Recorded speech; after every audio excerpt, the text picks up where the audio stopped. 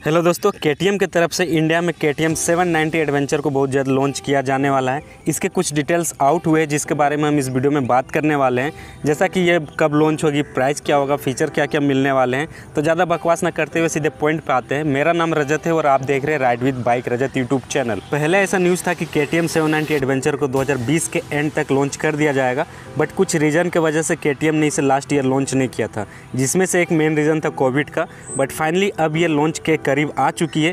के T M adventure के first unit को इंडिया में देखा गया है। के टी एम का जो बजाज का मैन्युफैक्चरिंग प्लांट है चकान में देखा गया है, जो पुणे के पास में पड़ता है। आप इमेज में भी देखिए के टी एम की जो सेवन नाइन्टी एडवेंचर बाइक है, उसके पीछे डोमिनार की भी बाइक खड़ी है। तो ये तो कन्फर्म हो गया है कि ये बजाज के मैन्युफैक्चरिंग जो प्लांट है, वहाँ पे इसको स्पाइस सोट्स वहीं से निकल कर सामने आ रहे हैं। सोशल मीडिया पर अभी के टी एम एडवेंचर के खूब चर्चे भी हो रहे हैं, क्योंकि इंडिया में एडवेंचर का क्रेज़ दिन पर दिन बढ़ता जा रहा है। लोग कहीं ना कहीं एडवेंचर बाइक को खरीदना पसंद कर रहे हैं प्रेफरेंस कर रहे हैं एडवेंचर बाइक को लेने का। जैसा कि इंडियन मार्केट में के टी एम के सिर्फ़ दो ही एडवेंचर बाइक फ़िलहाल मौजूद है।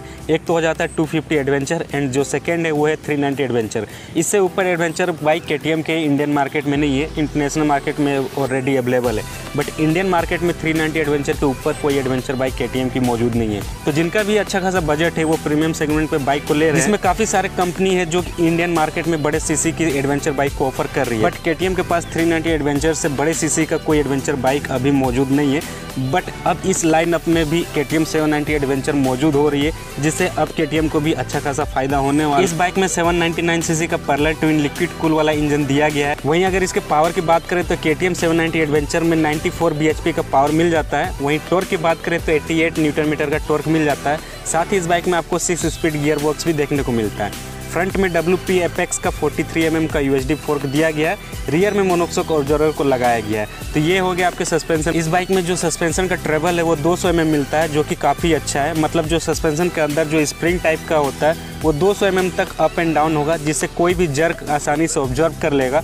और जो बाइक पे बैठे राइडर है, उसको जर्क बहुत कम महसूस होता है, जो कि एडवेंचर के लिए काफ़ी अच्छा ट्रेवल सस्पेंशन दिया गया है। के टी एडवेंचर में जो हेडलैम्प है, वो वी सेप स्प्लिट हेडलैम्प दिया गया है। साथ ही इस बाइक में आपको पाँच इंच का fully digital T F T instrument console देखने को मिल जाता है। वहीं इसके फ्यूल टैंक आप देखें तो शार्प लुक दिया गया है फ्यूल टैंक का। के का जो सिग्नेचर पेंट स्कीम है ऑरेंज वो आपको इस बाइक में भी देखने को मिल रहा है। और जो स्पाइस शॉट सामने निकल कर आ रहे हैं उसमें कुछ चीज़ें मिसिंग है। फ़िलहाल इसमें देखने को नहीं मिल रहा। एक तो है कि रियर व्यू मिरर आपको देखिए स्पाई इमेज जो निकल कर सामने आया, उसमें रियर व्यू मिरर देखने को नहीं मिल रहा है। एंड जो सेकेंड है, वो है विंड स्क्रीन विंड स्क्रीन भी इसमें मिसिंग है। तो ये दो चीज़ें फ़िलहाल इसमें मिसिंग है।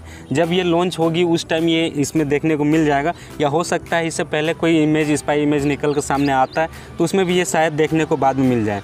बट इतना तो तय है कि सेवन एडवेंचर एक प्रीमियम सेगमेंट की बड़े सी की बाइक है।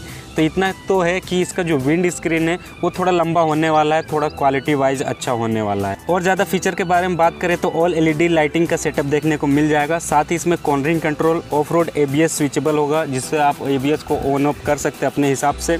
और साथ ही इसमें मल्टी राइडिंग मोड भी देखने को मिल जाएगा, जैसे street rain off road and उम्मीद ये भी लगाया जा रहा है कि इसमें रेले मोड भी दिया जाएगा, जो रेत वगैरह में होता है, उसमें भी ये अच्छे सा परफॉर्मेंस कर पाए। और साथ ही इस बाइक में आपको सेंसिटिव ट्रैक्शन कंट्रोल भी देखने को मिल जाएगा, और भी काफ़ी सारे फीचर देखने को मिल सकता है। तो फ़िलहाल यही सारा कुछ अपडेट मिल रहा है। आगे कुछ भी अपडेट होता है तो मैं वीडियो बना के अपलोड कर दूँगा, या फिर आपको इंस्टाग्राम पर अपडेट कर दूँगा। तो आप मुझे कोशिश करें कि इंस्टाग्राम पर फॉलो कर ले, और इंस्टाग्राम का आईडी का लिंक इस वीडियो के नीचे डिस्क्रिप्शन बॉक्स में मैंने दिया हुआ है, वहाँ से आप मुझे एक क्लिक से फॉलो कर सकते हैं। और इंस्टाग्राम पे मुझे ज़रूर फॉलो करें, क्योंकि मैं यूट्यूब से पहले इंस्टाग्राम पे ही अपडेट कर देता हूँ। यूट्यूब पे वीडियो बना के डालने में थोड़ा सा वक्त लग जाता है। वहीं इसके मेन और लास्ट पॉइंट के बारे में बात करें कि इसका प्राइस कितना होने वाला इसका जो एक्सपेक्टेड प्राइस है, वो उम्मीद ये लगाया जा रहा है कि इसका एक्स शोरूम जो प्राइस है, वो दस लाख एक्स शोरूम होने वाला है। तो ये हो गया इसका प्राइसिंग की बात। वहीं अगर इसके लॉन्चिंग की बात करें तो ये बाइक कुछ हफ्तों में लॉन्च हो सकती है। आप मान के चलिए कि इस जुलाई के एंड तक लॉन्च हो जाएगी या फिर अगस्त तक पक्का ये बाइक आपको लॉन्च होते हुए इंडियन मार्केट में दिख जाएगी। ऐसे ही बाइक रिलेटेड कंटेंट के लिए आप हमारे चैनल को भी सब्सक्राइब कर सकते हैं। तो चलिए मिलते हैं नेक्स्ट वीडियो में। तब तक के लिए राइड विथ बाइक